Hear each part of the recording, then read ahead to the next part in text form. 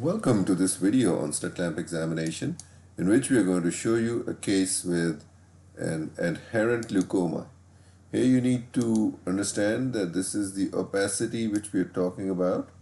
This is a smallish opacity and probably if you take this as a corneal diameter which is about uh, 11 millimeters so this would be around about 3 millimeters so I tend to eyeball it as well just to have an idea. So if you just keep in mind that what is the diameter of the cornea, you can probably get a rough estimate what type of lesion you have. So how would you describe this lesion? You would say that you've got a scar which is present inferior to the pupillary center at 6 o'clock and it is about 3 millimeters from the limbus and it is oval in shape horizontally. The next thing which you want to see is, is this scar alone or is it associated with any adhesion of the iris behind it. So let's go forward and make a slit beam and bring the beam from the side and see what we have.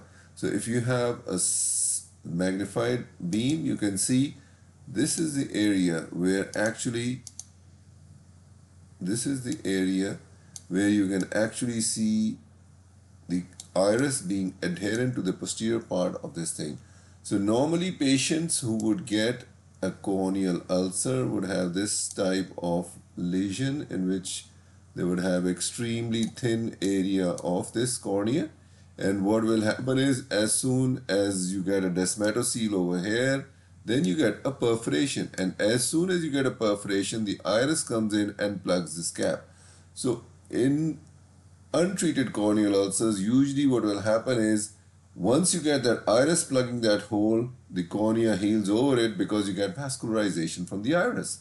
So that vascularization helps you to heal that cornea and you end up with a corneal scar. But the difference would be that corneal scar would have an attachment at the back of it, that would be an adherent leucoma. So you need to identify if you have a lesion and this is actually adherent to the back of the iris. And the other telltale thing which is showing you that it's an adherent leucoma and one thing more which you see in this patient is that you have an area where you get these pigment on the surface of the lens. So this is posterior synechiae formation as well because as soon as the anterior chamber flattens out, the iris pulls out, the anterior chamber is going to be shallow like this, the lens is pushing behind it.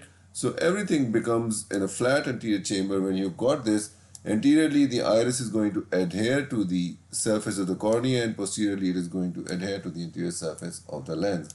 So that is why you're getting that posterior synechiae, but as soon as the things uh, settle down and the anterior chamber is formed, you see that area which is well formed over there. The next thing which you see in this patient is an area of nuclear sclerosis. So if you grade this area of nuclear sclerosis, it is definitely an NS3 plus nuclear sclerosis and the nuclear sclerosis is going from the anterior capsule to the posterior capsule. So it is pretty dense nuclear sclerosis in this patient.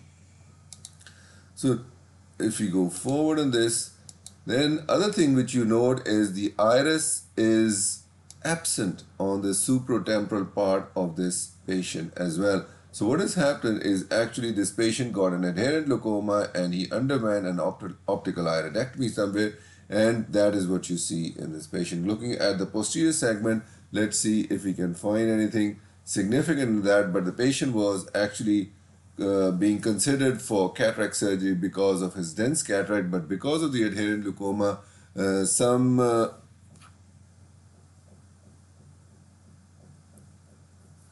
apprehensions were there that he might not get a suboptimal or an optimal result. So thank you very much for watching.